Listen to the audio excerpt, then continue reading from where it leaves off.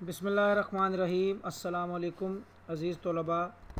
उम्मीद है कि आप सब खैरियत से होंगे। जमात हजतम मताल पाकिस्तान के लेक्चर सीरीज़ के आज के लेक्चर में मैं आपकी खिदमत में हाजिर हूँ।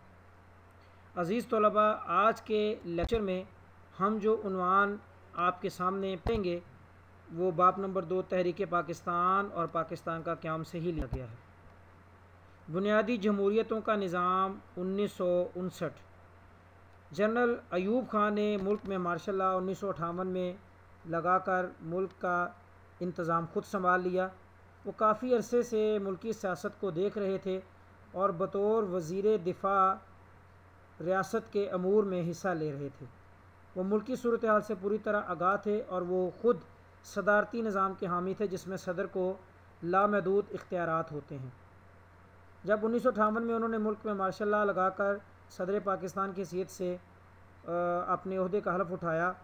तो उन्नीस में उन्होंने अपना चार सतही बुनियादी जमहूरतों का निज़ाम नाफिज किया, जिसके चार लेवल थे, यानी इख्तियार को निचली सतह पर मुंतकिल करना, लोकल गवर्नमेंट।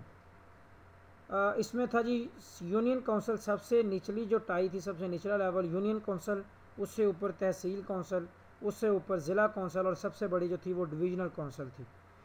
यूनियन काउंसिल या यूनियन कमेटी। ये जो यूनियन काउंसिल ये बुनियादी जमहूरियतों का सबसे छोटा इदारा था। इसे देहाती इलाकों में यूनियन काउंसिल और शहरी इलाकों में यूनियन कमेटी कहा जाता था।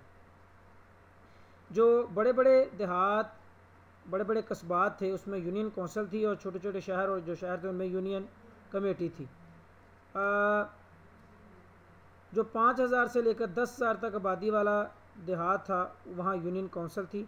इन यूनियन काउंसिल में से कोई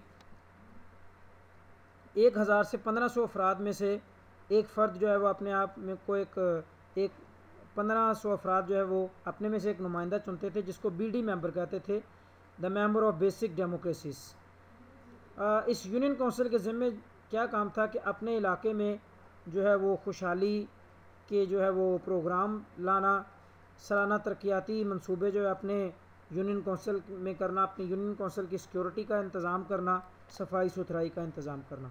तहसील कौंसल और थाना कौंसल। ये बुनियादी जमहूरीतों का दूसरा इदारा था। एक जो तहसील थी उसके अंडर जो है बहुत सी यूनियन कौंसल थी। अच्छा ये जो तहसील कौंसल थी, ये मगरबी पाकिस्तान में थी, जिसका चेयरमैन तहसीलदार होता था, और मशरकी पाकिस्तान में थाना कौंसल था। जो बहुत सी यूनियन कौंसल थी और जो यूनियन कमेटियाँ थी, वो इस तहसील कौंसल और थाना कौंसल की जो है वो उसका हिस्सा थी। इनका जो चेयरमैन होता था, वो सब डिवीज़नल ऑफिसर होता था। हर थाना और तहसील कौंसल अपनी हदूद में जो यूनियन कौंसल होती थी, उनकी सरगर्मियों को देखी थी। फिर उसके बाद है ज़िला कौंसल। ज़िला कौंसल जो थी, वो जमहूरीत के निज़ाम की तीसरी सीढ़ी, तीसरी मंजिल थी। जो ज़िला कौंसल थी उसमें तमाम ज़िले की यूनियन कौंसल और तहसील कौंसल यानी टाउन कमेटीज़ जो थी वो इसका हिस्सा थी। इसके यूनियन कमेटियों के जो मंतखब चेयरमैन थे, म्यूनसिपल कमेटियों के चेयरमैन और कंटोनमेंट बोर्ड जो था, कैंट का एरिया, के नायब सदर और सरकारी अफसरों पर मुश्तमिल थी। हर ज़िला कौंसिल के नसफ अरकान नामजद होते थे। ज़िला का जो डिप्टी कमिश्नर था, सरकारी अफसर या कलेक्टर, वो ज़िला कौंसिल का चेयरमैन था। डिवीज़नल कौंसिल डिवीज़नल कौंसल बुनियादी जमहूरीतों के निज़ाम की आखिरी मंजिल और सबसे बड़ी मंजिल थी। हर डिवीज़नल कौंसल सरकारी और मंतखब अरकान पर मुश्तमिल होती थी, यानी सरकारी और सियासी नुमाइंदों पर। डिस्ट्रिक्ट कौंसलों के जो चेयरमैन थे, वो बिलहाज अहदा डिवीज़नल कौंसल के रुकन होते थे, जो डिवीज़नल कौंसिल यानी एक डिवीज़न में बहुत, चार कम अज़ कम ज़िले थे। डिवीज़नल कमिश्नर जो था, वो बिलहाज अहदा डिवीज़नल कौंसल का चेयरमैन था। अच्छा डिवीज़न के अंडर जो था वो तरक्याती स्कीमें मुरतब करना था अपने ज़िले की, अपने जो उसके अंडर ज़िले हैं और हुकूमत की जारी करदा जो हदायत हैं, जो नोटिफिकेशन है ऑर्डर्स हैं, उन पर अमल दरामद करवाना। निज़ाम की फादियत। इस निज़ाम का मकसद आवाम के मसाइल निचली सतह पर आके हल करना था और इसका मकसद ये था कि जो अवामी नुमाइंदे हैं वो अवाम के सामने जवाब दें और आवाम उनको आसानी से पकड़ सके। ठीक है? ये निज़ाम लोगों की फलाह बबूत और समाजी बेहतरी के लिए बनाया गया था, लेकिन जो इसके नतज हैं, वो खातर खाना निकल सके। दिसंबर उन्नीस और जनवरी 1960 में इंतबात हुए मुल्क में, जिसमें अस्सी हज़ार नुमाइंदों को मंतखब किया गया। अच्छा ये अस्सी हज़ार डायरेक्ट नुमाइंदे थे, चालीस हज़ार मशरक़ी पाकिस्तान से और चालीस हज़ार मगरबी पाकिस्तान से, और किसी शख्स को जो है वो हक के राय दही, यानी वोट डालने का हक नहीं था। यही अस्सी हज़ार मेंबर जो थे वो सिर्फ़ वोट कास्ट कर सकते थे। फरवरी 1960 में नुमाइंदों ने जनरल अयूब पर इजहार अतमाद किया और 17 फरवरी 1960 को जनरल अयूब खान को सदर पाकिस्तान की हैसियत से अपने अहदे का हल्फ दोबारा उठा लिया।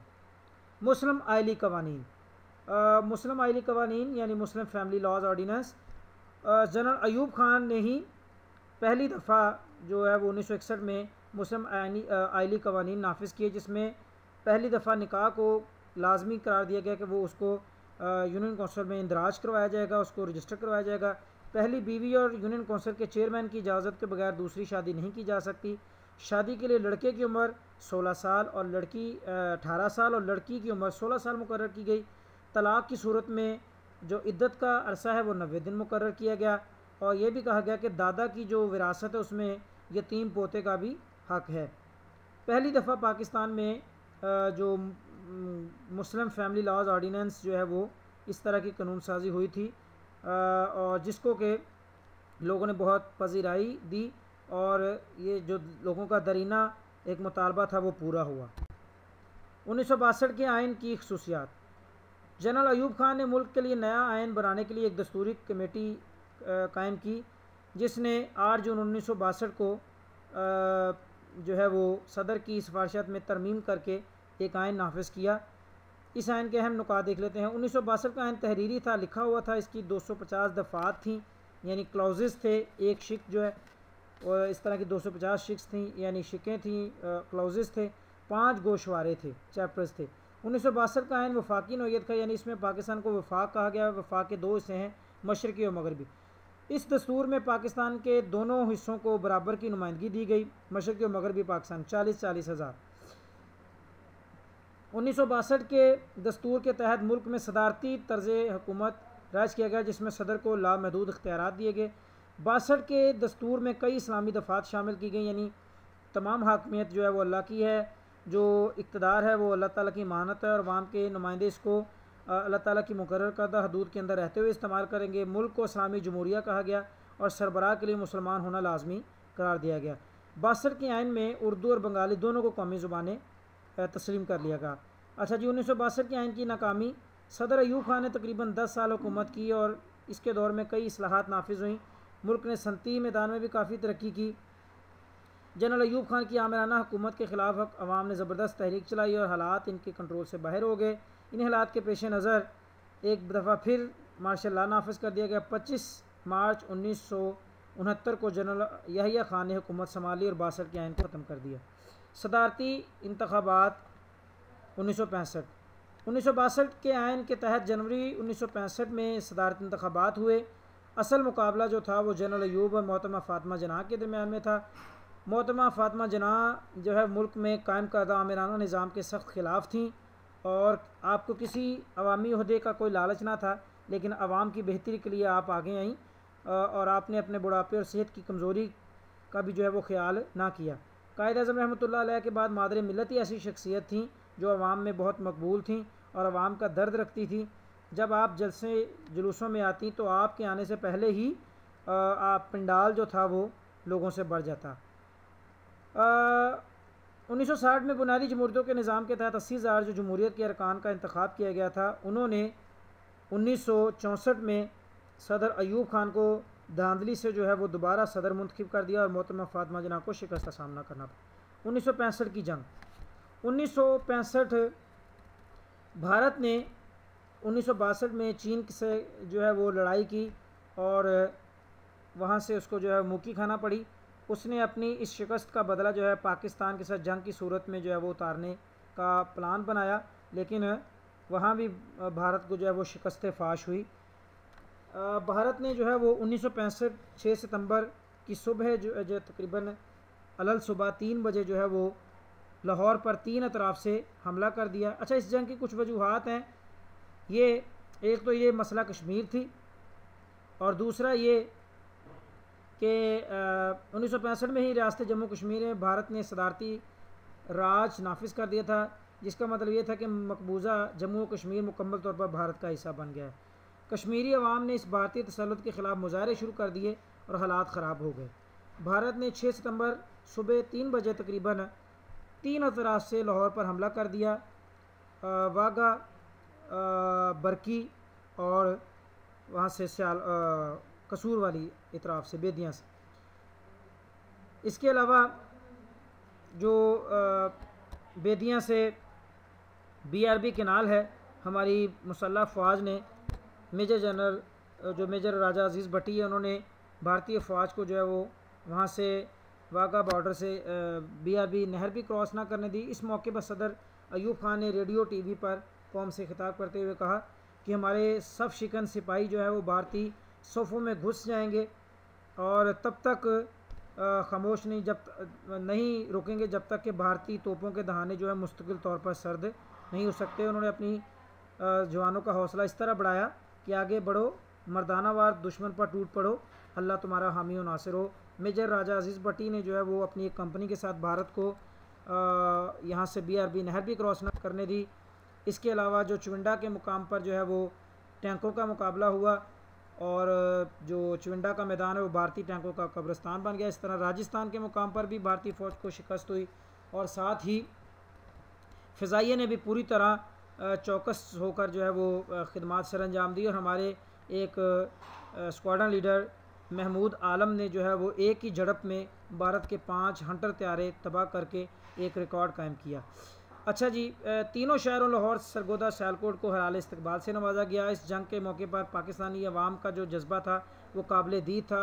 उन्होंने अपने फ़ौजी जवानों की जो हौसला हर तरह से बढ़ाया, उनको खून के एहतियात दिए, उनके लिए बिस्तर, खाना और बहुत सी चीज़ें जो है वो दे के आते रहे। साथ ही सरहदी इलाकों पर जो है वो अपनी फ़ौज के शाना बशान हती के लड़ते रहे। इस छः सितंबर की सुबह शुरू होने वाली जंग जो है तेईस सितंबर उन्नीस सौ पैंसठ को अलल सुबह ही ख़त्म हो गई, जब भारत ये मामला अकवा मुतहदा में ले गया। इस अकवा इस जंग के बाद जो आलमी दुनिया है, उन्होंने पाकिस्तान के बारे में जो है उनका पाकिस्तान का एक सॉफ्ट इमेज गया और पाकिस्तान अवाम के बारे में पता चला, पाकिस्तानी फ़ौज के बारे में उनको पता चला। मुट्ठी भर फ़ौज ने भारत की ताकतवर आर्मी को ना सिर्फ़ शिकस्त दी, बल्कि उनको ख़बरदार कर दिया कि आइंदा कोई भी पाकिस्तानी सरहदों की तरफ़ मैली आँख से देखेगा तो पाकिस्तान के फ़ौजी जो हैं, उनका हशर कर देंगे। ये था जी आज का टॉपिक उम्मीद है कि आज का उनवान आपको समझ लग गया होगा। जो करने के लिए आपके पास काम है, वो है जो मुख्त सवाल है आपका चार, ये आप देख सकते हैं। बुनियादी जमहूरतों के निज़ाम उन्नीस सौ उनसठ का तारफ़ लिखें। ये और मदज सवाल के तफसीली जवाब दें। बुनियादी जमहूरतों के निज़ाम के खदोखाल बयान करें और उन्नीस सौ बासठ के आइन की नुमाया खसूसियात ये अपने कापी पर तैयार कर लेने हैं। और उम्मीद है कि आज का लेक्चर आपको अच्छे से समझ लग गया होगा। आपका कोई सवाल है तो कमेंट बॉक्स में ज़रूर शेयर कीजिएगा ताकि आइंदा आने वाले लेक्चर को मज़ीद बेहतर किया जा सके। अगले लेक्चर की मुझे इजाज़त दीजिए। अल्लाह हाफिज़।